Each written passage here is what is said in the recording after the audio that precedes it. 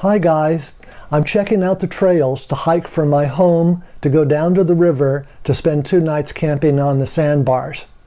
I've never done this before. Although the river is only two miles away, it's somewhat remote and so this should be really exciting.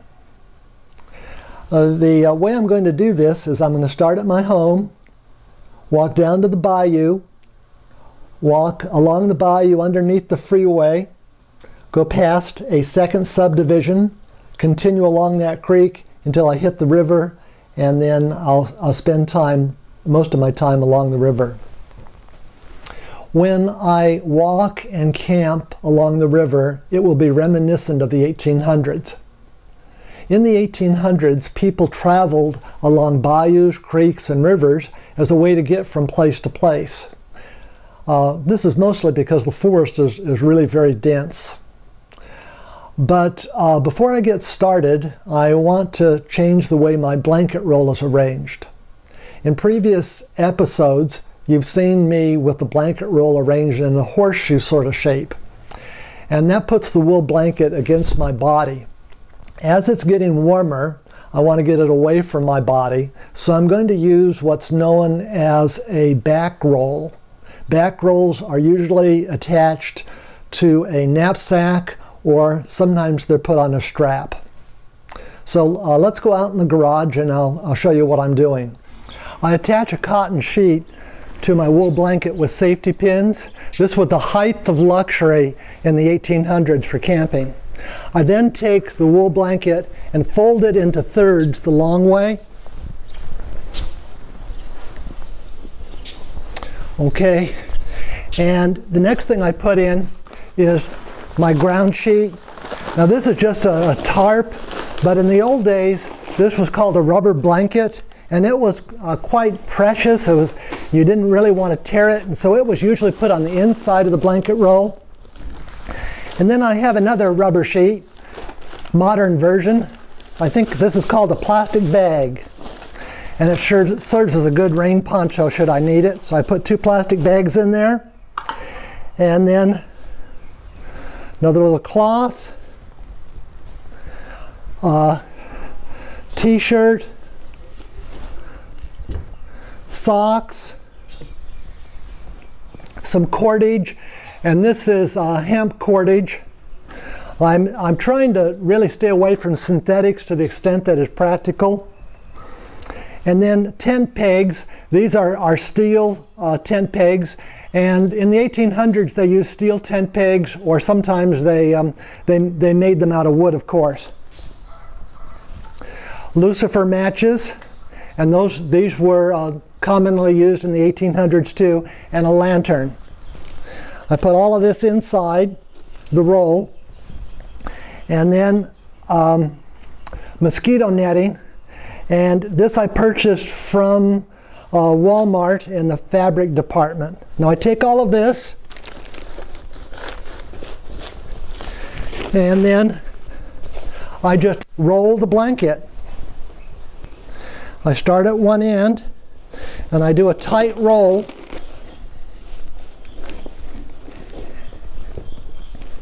Okay, now to hold the blanket together, I use three belts. These are our cloth belts.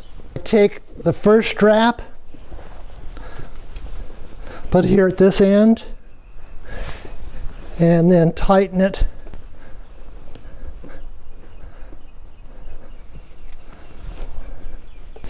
Then I take the second strap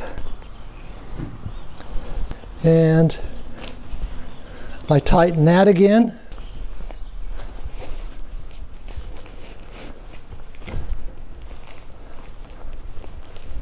And so once those are tight, I put the extra ends underneath so they don't get in the way. And take my shoulder strap and attach it to the other end of the first belt. And I can adjust the length to the height that I want with this strap arrangement. And then I go underneath. So this is a very simple way to keep a bedroll on a strap that's easy to carry. And you can adjust the lengths to it by uh, adjusting this belt. My haversack came from an army surplus store. I was told it's uh, from the Russian army. I've attached a, a tin can uh, so that I can collect things along the way, all sorts of things from pine pitch to anything I run into to even getting water. Uh, one of the first things I put in are some eating utensils, some pans.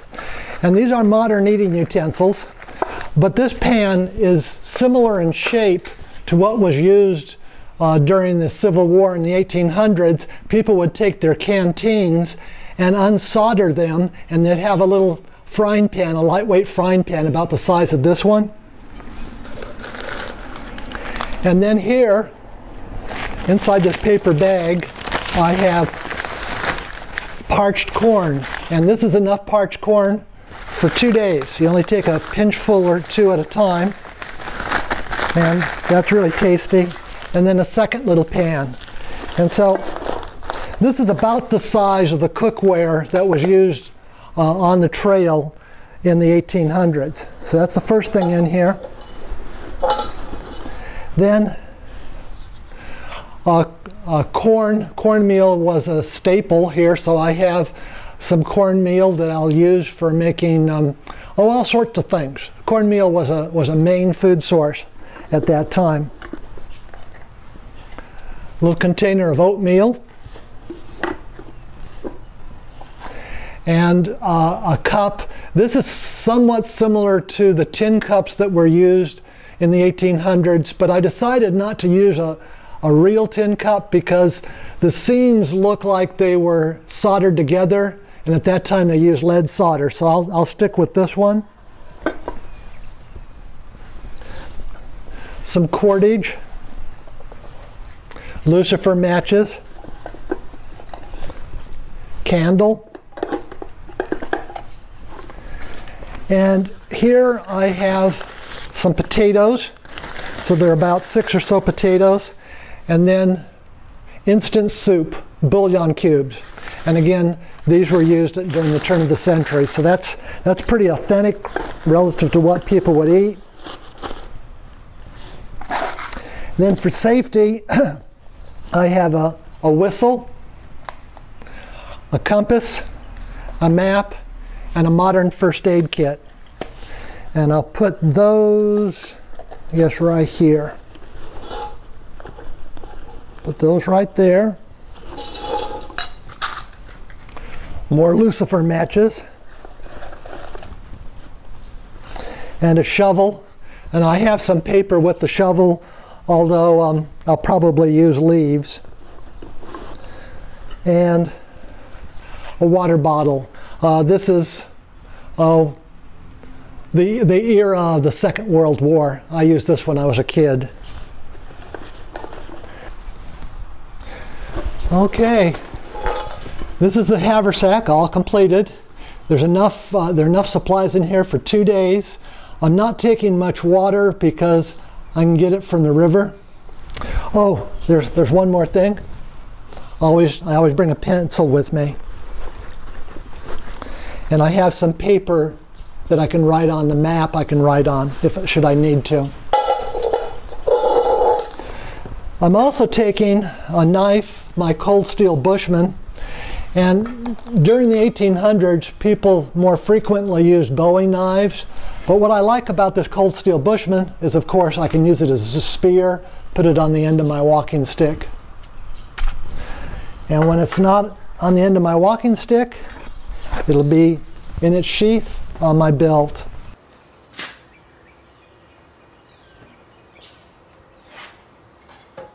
I almost forgot. I need two lemons. I'll just put them in the haversack.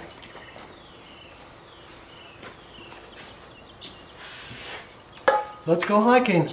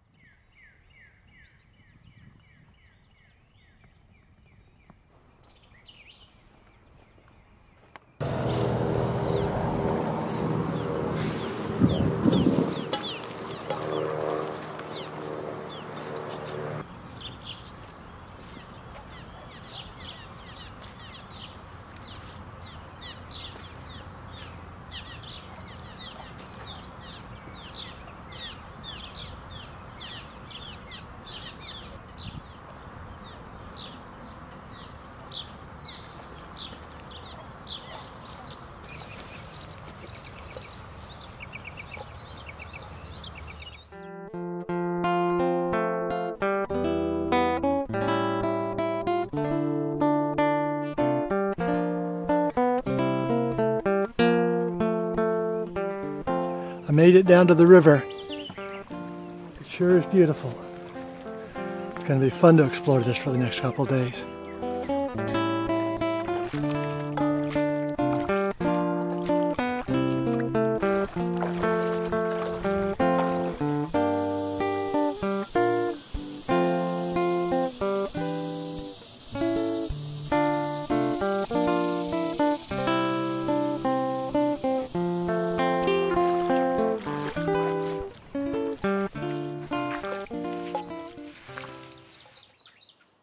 It only took me a few minutes to find a nice tasty snack. This is greenbrier. You eat the tips of it.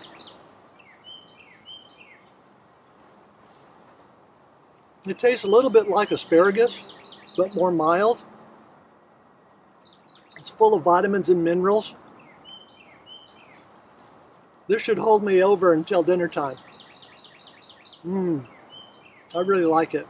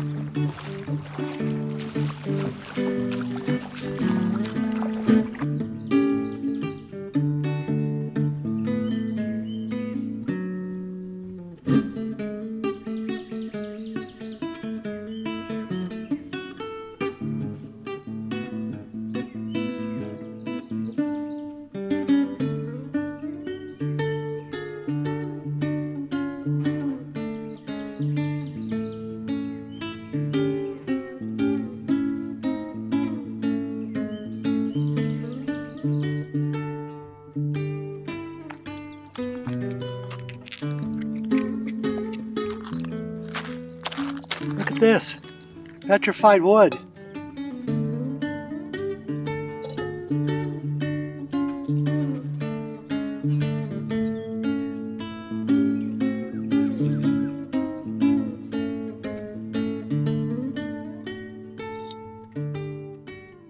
Wax myrtle tea.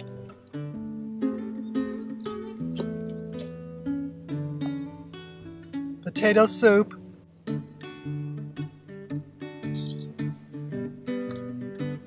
My special cornmeal recipe. This is very similar to the way it was cooked 150 years ago. This is so good.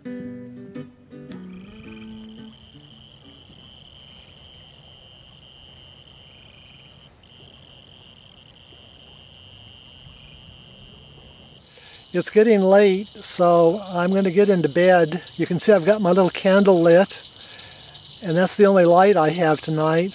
Uh, there aren't any mosquitoes out. Now maybe it's the uh, repellent from the American beautyberry and the wax myrtle that's keeping them away.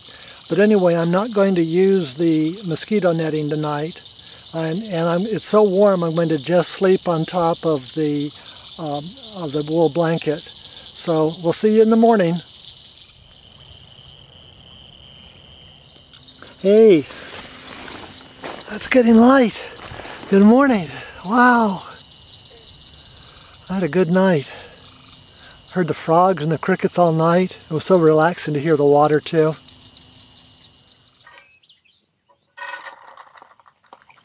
There should be enough oatmeal.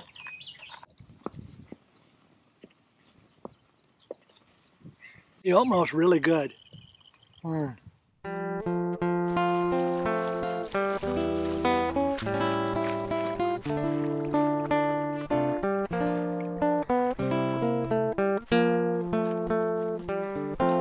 I need an energy drink. A little bit of water. Oatmeal. This was popular in the 1870s. It's as good today as it was then.